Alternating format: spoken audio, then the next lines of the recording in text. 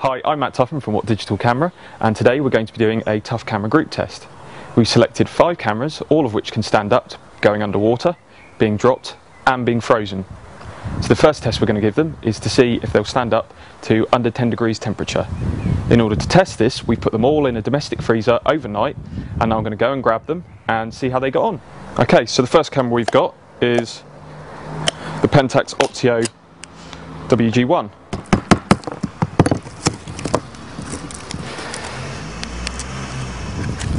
The, uh, the screen is working, the camera's fully powered up. Um, the only problem we have is that the battery is pretty much dead, but otherwise, full working order. Okay, so the next camera we have is the Sony TX10. So let's see how that got on.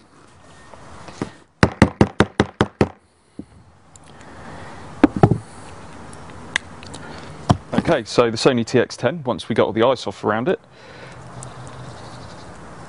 is powering on. It does feature a front sliding lens cover, which um, unfortunately at the moment is frozen in place. Okay, so next up we have the Panasonic FT3.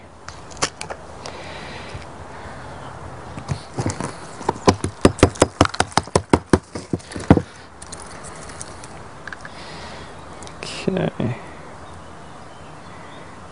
The Panasonic is actually now working fully so we've got full battery power and uh, the screen's working, everything's working fine. So. Okay, so next up we have the Fujifilm XP30.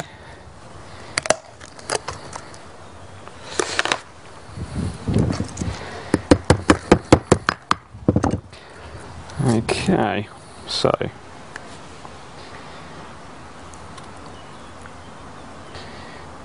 so the Fuji XP30 powers on fine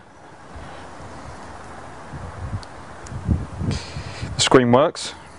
Unfortunately though, it does seem that the battery has suffered a little bit. Okay, so finally we have the Olympus TG310. So let's see how that one got on.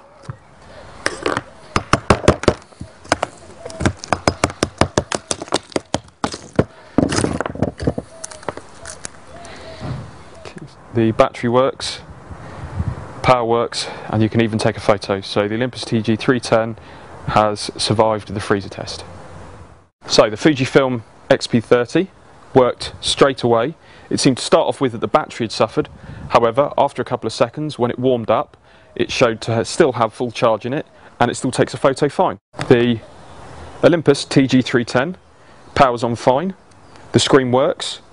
It took a photo, so everything was in full working order. The Pentax WG1. Now, Although it came on straight away, it did show that the battery wasn't working.